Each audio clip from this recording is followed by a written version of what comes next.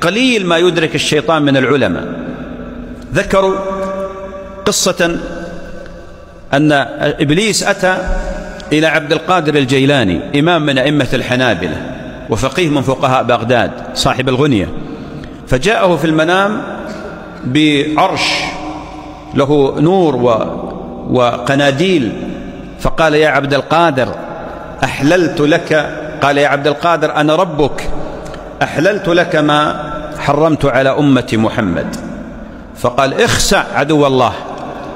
قال اخسع عدو عرف أنه إبليس. قال اخسع عدو الله. قال قال نجوت مني يا عبد القادر.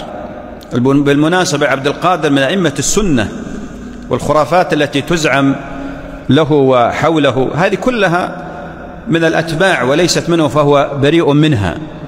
فقال نجوت مني يا عبد القادر كيف عرفت أني إبليس؟ قل كيف عرفت أني إبليس؟ هذا العالم هنا يأتي دور العلم. قال لأنك قلت أنا ربك ولم تقل أنا إلهك. والأمر الثاني كيف تحل لي ما حرمت على أمة محمد عليه الصلاة والسلام؟ والنبي صلى الله عليه وسلم مات وقد أكمل الله الدين. قال لقد أضللت بها سبعين من عباد بغداد. يقول هذه الرؤية والحلم اللي جيتك فيه سبعين عابد أضللتهم ف فانتهكوا ما حرم الله عز وجل. ظنا منهم أن الله أوحى إليهم ذلك.